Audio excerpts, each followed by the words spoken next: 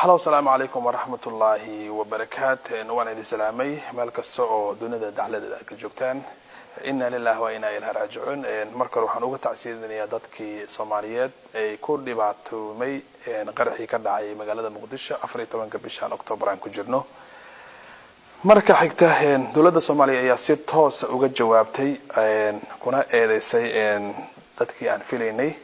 Waxayna dowladdu sidoo kale qirateen ama noo caddeeyeen in dadka wax ku wax ku yeeloobay iyo dadka ku dhintay tootal ahaan ay yihiin lix boqol afartan iyo laba qofood. Saddex boqol konton iyo sideed qofna ay ku dhimatay. Dhaawacuna laba boqol labaatan iyo sideed qof oo dhaawaca. Iyo konton iyo lix qof oo weli aanan nolol iyo geereen midna lagu haynin.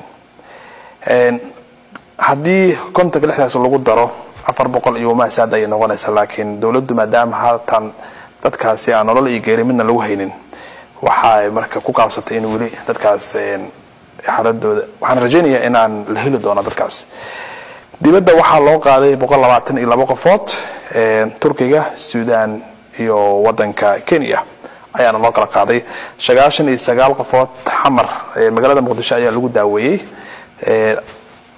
inta ka soo hartay boqol iyo lix qofood waxaa lagu daaweyey magaalada muqdisho sagaashan iyo sagaal qofoodna haatan caafimaadkooda waa bogsoodeen. Dib ayay ehladoodii iyo dadkoodii ugu laabteen. Toddoba qofood ayaana weli ku jira isbitaalada xaaladooda ay iska tahay mid aan ficleen laakiin waxaan rabaa inaan ka hadlo shacbiga soomaaliyeed ee kuwa dowlad diidka ah ee mar kasta beenta iyo balaayada nagu hoos wada. War shacab soomaaliyeedow ilah baan idinku dhaarshay ma waxay dan noogu jirtaa maalin kasta inaan baabaano? Ma waxay dan noogu jirtaa inaan badaha ku baabaano inaan dhulkeena ku baabaano inaan gaajo baabaano ina anagu markaa danaheena aana garanin iyo shakhsiyaadka. Waxaan ka rabaa arrintan dowladda soomaaliya iyo international community iyo cid kastoo arrimaha soomaliya qos waxa ka dhacay magaalada muqdisho waxay ahayd arrin genocide ah arrin dad lagu baabiye bay ahayd. Waxaa soo abaabulay kuwo soomaalinimo sheeganaya iyo kuwo shisheeye ah ayaa labadaba isku soo darsaday. Waxaan ka rabnaa dowladeena inay soo xirto soona qabato cadaaladana la soo istaajiyo kuwii ka dambeeyey waxaana wax iska yimid maaha. Waa wax la sameeyey waa wax dad ay sameeyeen waa wax laga dambeeyey. Ma aha wax iska yimid wax iska dhashan qof iska soo baxayay. Sababtoo ah gurigii lagu gaarigan laga soo saaray bambooyinka balaayada dad soomaali baa deganaay gaariga qofka wada qof soomaaliya bu ahay laga yaabay imaaraadka ama shisheeye ama maamul goboleedyada inay xiriir la lahaayeen oo ogaayeen. Wararka hadda magaalada muqdishona ka imaanana waxay sheegayaan in arrintan ay dad dowladda ku jira oo dowlad nabadiidka ah oo danaqaasa ka lahay habina aana ku ahayn nabadda iyo farxadda ay ku nool yihiin dadka reer muqdisho shacabka soomaaliyeed. Ay diidiyeen ay dhaheen sidee ku dhacday in muddo ku dhawaad lix bilooda magaalada muqdisho qarax ka dhaceen. Sidee ku dhacday in arrimahaas ay sidee ku dhacday? Waa inaan qalqalgelinaa waa in dowladda iyo shacbiga la iska hor keenaa maadaama dhowr bilood ka hor ee arrintii qabri qabri dhagax qabri bayax qabri dhagax ninka la yidhaahdo baan dowladda sharaftii ku qaadno ayaga shacbigaan iska hor keenay.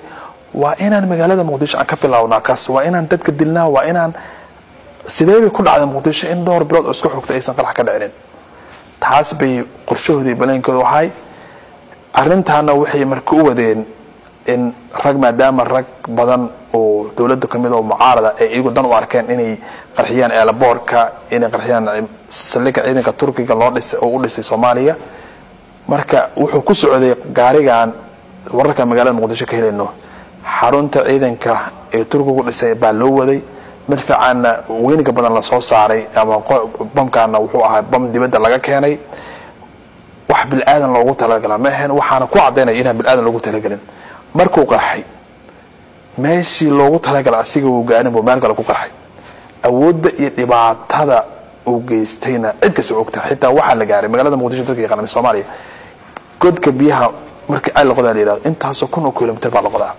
Biyo hore ma kama yimaadaan awoodda iyo baawarka uu leeyahay qaraxaasi dhulka biyo ayaa ka soo baxa kuleel ah waxaas. Adinkaa markhaati ka ah qaraxyo hore soomaaliya waa ka dhici jireen. Labaatan qofood soddon qofood konton qofood oo ku dhiman jirta laakiin ku dhowaad afar boqol oo qofood. Waa masiibo qaran waxaana dowladda soomaaliya ka codsanayaa iyo ka codsanayaa in loo bixiyo afar iyo tobanka octoobar waddadaasi xasuuqu ka dhacay. Haddaynu shacbigii soomaaliyeed nahayna inaan dowladdeena la shaqayno inaan cadow baan leenahay cadow hal cadow baan leenahay. Wallaahi baa ku dhaartay farmaajihii kheyre inaysan keliya aysan rabinin iyo ciidanka iyo kuwa xildhibaanada. Qof kasta waxay naga aaminsan yihiin dad gaalanahay inaan dowladdeena la shaqayno inaan anagu nabadda araasan khaasatan dhalinyarada inaad ciidanka ku soo birtaan inaad dowladda la shaqaysaan inaad qabiilka quranka iyo shaksiga waxa laydinka dhadhacsiin aad iska dhaaftaan waa arrin annaga dan noo ah waa arrin ummadda soomaaliyeed dan noo ah. War intaasaan baabayna dibadiyan ku baaba'an oo wadanka gudihiisaan ku baaba'an oo meel kasta.